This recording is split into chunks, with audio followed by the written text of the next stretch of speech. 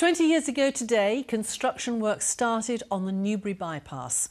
Despite massive protests, it brought drivers relief from Britain's biggest traffic bottleneck. But it also shifted public opinion about new road building. Each night this week, the reporters who covered the story two decades ago return to reassess the legacy of the Battle of Newbury. Tonight, our transport correspondent Paul Clifton looks at how the protesters changed government policy. Climber working on the route of the Newbury bypass has been knocked unconscious by a falling tree. You may well be arrested. Please go away from here now. Though the bypass itself may now be open, there are still many months of work ahead.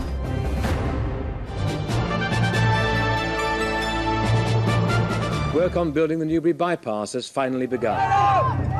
The Newbury bypass changed the way Britain looked at road building. We're a lot more organised now, and also there's just huge amounts of support here. Rebecca Lush was arrested three times in one week. 20 years on, she still believes the protests turned public opinion. Newbury was absolutely critical in changing British transport policy fundamentally. There were 600 road schemes proposed initially by the Thatcher government. By the time Labour came in in 1997, the road programme was scrapped completely. So, by anyone's standard, that was an enormously successful campaign. More than 800 people were arrested using 600 security guards. The cost, one fifth of the total price of building the road. Long after the battles ended, the road opened at 2 in the morning on a foggy Tuesday. In a few moments' time, the Newbury bypass will be opened. Only a handful of people knew to keep protesters away. We've got rid of the notorious bottleneck on the A34, so it's, it's good news all round. The last time I interviewed you was 20 years ago, the morning the road opened. What did the Newbury bypass change? The protests at Newbury undoubtedly helped to focus attention on making sure that environment was a very key priority in, in subsequent road planning uh, projects.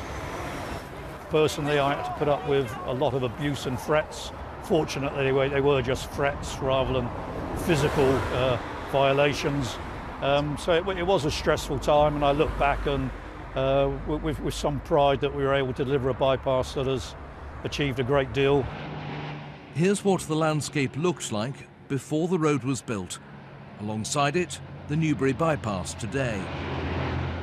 The protesters lost the Battle of Newbury, but did they win the war? In the 20 years since then, the only big new roads in the south of England have been the Hindhead Tunnel and the Weymouth Relief Road. One of the biggest protest camps was at Tot Hill. Today, the battle site is a service area with a hotel and McDonald's. We've taken three years and spent £120 million of taxpayers' money to move a bottleneck from the south of Newbury to the north of Newbury. In 1996, Adrian Foster Fletcher was among only a handful of local business leaders to oppose the bypass.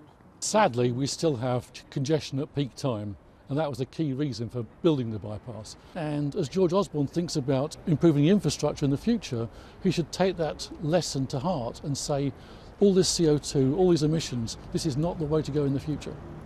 The bypass uncorked this road as the country's worst traffic bottleneck. It also virtually halted road building for a generation. Only in the last two years has the government once again started a new era of laying tarmac.